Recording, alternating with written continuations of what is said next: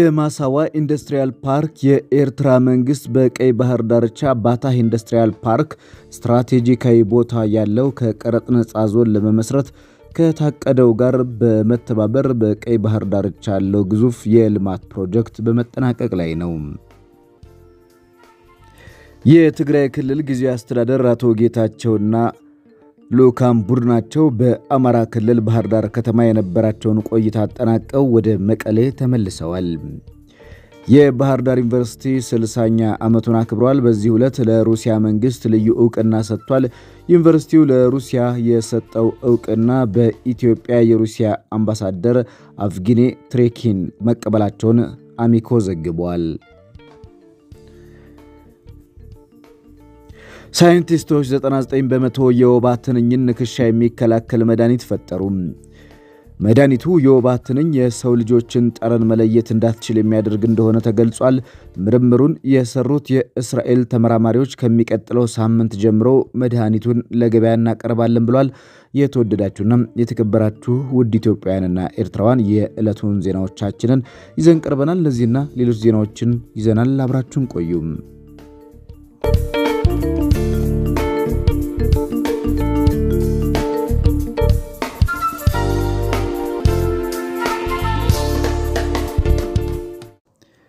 ልክ እንደ 2015 ዓ ም በጀት ሁሉ በ2016 ዓ ም በጀት አዲስ የመንግሥት ሠራተኞች ቅጥር እንደማይፈጸም ተነግሯል።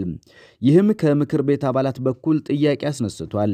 የገንዘብ ሚኒስትሩ አቶ አህመድ ሺዴ ባለፈው ሳምንት ለሕዝብ ተወካዮች ምክር ቤት በሚኒስትሮች ምክር ቤት ተወስኖ ወደ ፓርላማ የተከላከውን የ2016 ዓ ም የ801.65 ቢሊዮን ብር በጀት ረቂቅ ማብራሪያ ላይ ሰጥተው ነበረ። በማብራሪያቸው ላይ የተያዘው በጀት ካለፈው ዓመት ጋር ሲነጻጸር የ1.9 በመቶ ብልጫ እንዳለው ገልጸው በጀቱ ሀገራዊ አቅምን፣ የዋጋ ግሽበትን መከላከል ላይ ታሳቢ አድርጎ መዘጋጀቱን ጠቁመዋል። በጀቱ ለሚፈለጉ የተለያዩ የልማት ስራዎች በቂ ባለመሆኑ አዳዲስ ፕሮጀክቶች እንደማይጀመሩ እንዲሁም አዲስ የመንግሥት ሠራተኞች ቅጥር እንደማይፈጸም አሳውቀዋል። አቶ አህመድ ሺዴ የ2016 መደበኛ በጀት በየመስሪያ ቤቱ ያለውን አዲሱን አደረጃጀት ታሳቢ በማድረግ የበጀት አጠቃቀም በቁጠባና በውጤታማነት ላይ ያተኮረ እንደሚሆን እንዲሁም አዳዲስ የሰራተኞች ቅጥር እንደማይኖር ታሳቢ በማድረግ የተዘጋጀ መሆኑን መገንዘብ ተገቢ ነው ብለዋል። የምክር ቤት አባላቱ ምን ጠየቁም? የምክር ቤቱ አባላት ለሚኒስተሩ ከጠየቁት ጥያቄዎች አንዱ ዘንድሮም የአዲስ ሰራተኞች ቅጥር አለመኖሩን በተመለከተ ነው።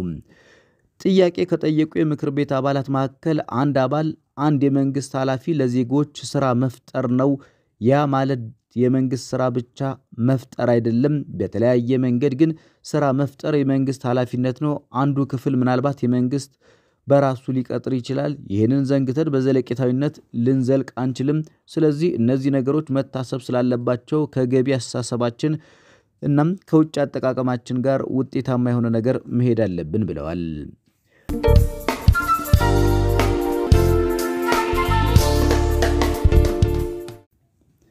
በአማራ ክልል ከደቡብ ጎንደር ወደ ሰሜን ወሎ ዋግ ሰቆጣም አምደ ወርቅ አብምናት ያለው መንገድ በጣም አስቸጋሪ ሆኗል። በመንገዱ አስቸጋሪነት ምክንያት የትራንስፖርት እጥረት መኖሩን እንዲሁም አማራጭ መንገድ ስለሌለም እንደ ዕቃ ተጭኖ ነው ሰው የሚጓዘው። የክልሉና የፌዴራል መንግስት ባለስልጣናት መፍትሄ ቢያበጁለት እየተባለ ይገኛል። በሌላ በኩል ደግሞ በ19 ቀበሌዎች የመንግስት መዋቅር የለም። በአማራ ክልል በዋግኽምራ ብሔረሰብ አስተዳደር ዞን በጻግብጂና አበርገሌ ወረዳዎች የሚገኙ 19 ቀበሌዎች አሁንም ነፃ አልወጡም።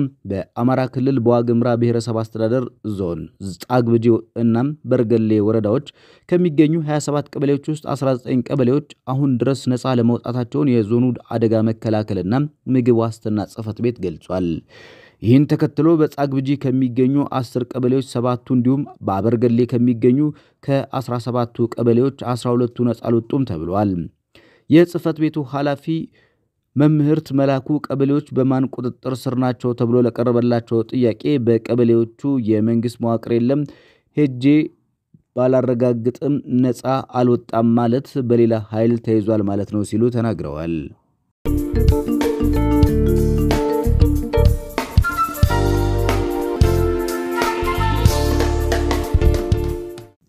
መስታወት ተደርምሶ የአንድ ሰው ሕይወት አለፈ። ቅዳሜ ከሰዓት በኋላ 10 ሰዓት ከ6 ደቂቃም በንፋስ ስልክ ላፍቶ ክፍለ ከተማ ወረዳ 12 ኃይሌ ጋርመንት አካባቢ በሚገኝ ኢትዮ ኢታይልስ በሚል መስታወት ፋብሪካ በደረሰ አደጋ የአንድ ሰው ሕይወት ሲያልፍ አንድ ሰው ከባድ ጉዳት ደርሶበታል። አደጋው የደረሰው መስታወት ፋብሪካው መጋዘን ውስጥ ተከማችቶ የነበረ መጠኑ ሰባት ኮንቴነር የሚያህል ለሽያጭ የተዘጋጀ መስታወት በመደርመሱ ነው። ሕይወቱ ያለፈው የ52 ዓመት ሰው ጉዳት የደረሰበት የ25 ዓመት ሰው የፋብሪካው ሰራተኛ ሲሆኑም አደጋው በደረሰበት ሰዓት በመጋዘን ውስጥ በስራ ላይ የነበሩ ናቸው። በአደጋው ስፍራ የተገኙት የኮሚሽኑ አደጋ ጊዜ ሰራተኞች የተደረመሰውን ከፍተኛ መጠን ያለው መስታወት በማንሳት ጉዳት የደረሰበትን ተጎጂ ወደ ሆስፒታል ያደረሱ ሲሆን ሕይወቱ ያለፈው ሰው አስክሬኑ ከፍርስራሽ ውስጥ አውጥተው ለፖሊስ አስረክበዋል።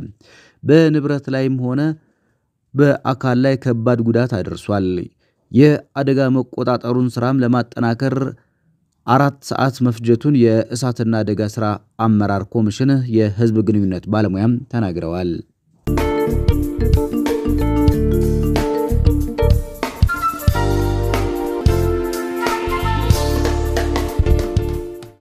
የኢራን ከፍተኛ መሪ ሀገሪቱ ከምዕራባውያን ጋር የኒኩሌር ስምምነት ልታደርግ እንደሚችል ተናግረዋል።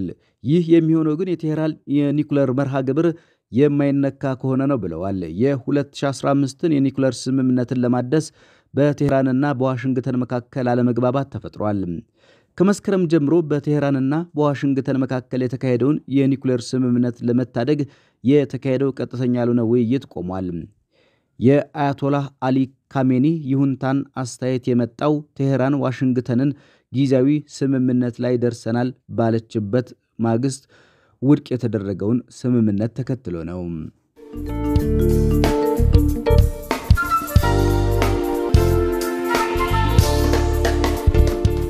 ዩክሬን የዩክሬን ጦር በባክሙት አቅራቢያ በሩሲያ ጦር ላይ ድል ማግኘቱን ተናገረ።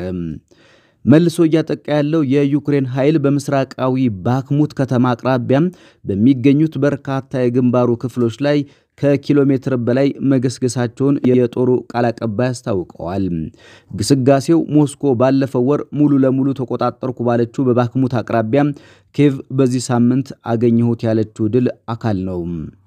የምስራቅ ወታደራዊ እዝ ቃል አቀባይ ስለ ጉዳዩ ሲጠየቁም በባክሙት አቅራቢያ ውጊያ እስከ 1400 ሜትር ርቀት በተለያዩ የግንባሩ ክፍሎች መራመድ ችለናል ብለዋል።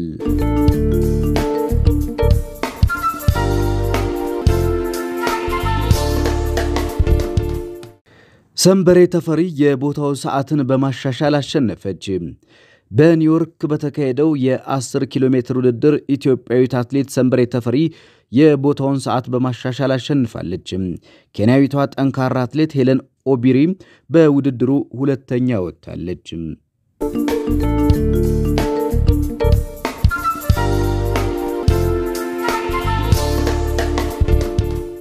ልዩነቶች ቢኖሩ እንኳን ልዩነቶችን ከአማራና ትግራይ ሕዝብ በታች ናቸው። አቶ ጌታቸው ረዳ ልዩነቶችን በሕግ በሰላምና በመነጋገር ለመፍታት የአማራ ሕዝብ ቁርጠኛና ፍላጎት አለው። ዶክተር ይልቃል ከፋለ ባህር ዳር የሚገኙት የትግራይ ክልል ጊዜያዊ አስተዳደር ፕሬዝዳንት አቶ ጌታቸው ረዳም እናም የልዑካን ቡድናቸው ከአማራ ክልል ፕሬዝዳንት ዶክተር ይልቃል ከፋለ ጋር እንዲሁም ከህብረተሰቡ ከተውጣጡ ተወካዮች ጋር ለመነጋገር ባህር ዳር ከትመው ውይይት ላይ ናቸው።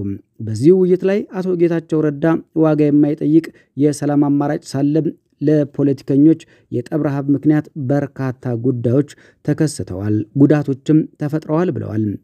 ልዩነቶች ቢኖሩ እንኳን ልዩነቶችን ከአማራና ትግራይ ህዝብ በታች ናቸው ያሉ ሲሆን አሁንም የጦርነት ምዕራፍ ዘግተን የሰላም አማራጮች የምናይበት ጊዜ ነው ብለዋል።